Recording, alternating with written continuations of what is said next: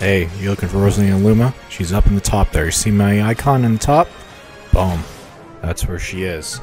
So take the upward path if you want her quickly in Dark World uh, to find Rosalina and Luma.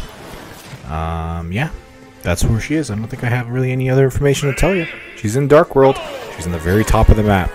Uh, if this video helped you, please like it, and uh, please remember, do not subscribe to me.